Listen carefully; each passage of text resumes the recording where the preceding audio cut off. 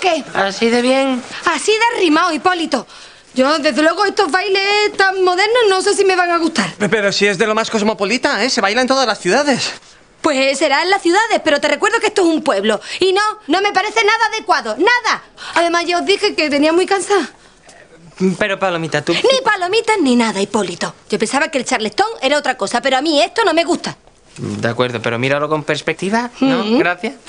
Mira, si, si va bien la escuela, vamos a contratar a un profesor para que dé clases de sevillanas. ¡Anda, anda! Oye, que incluso puedes a lo mejor dar las clases tú misma. Pero vamos a ver, ¿de verdad que tú quieres seguir con esto? Pues si es lo que tú quieres, por hacerte feliz a ti, lo que sea. Pues entonces te ruego que por favor déjalo. No, ¿Y ahora que hemos hecho mal? ¿Eh?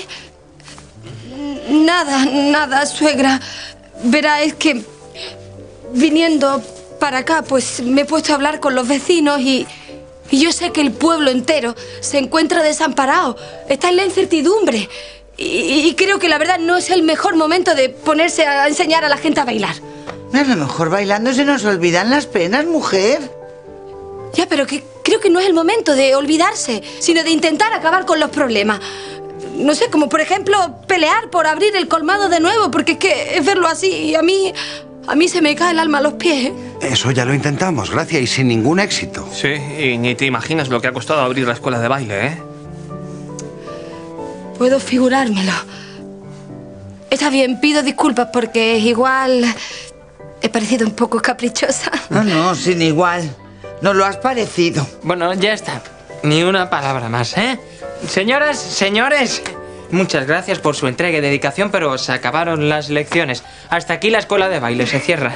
¿Eh? Sí, muchas gracias.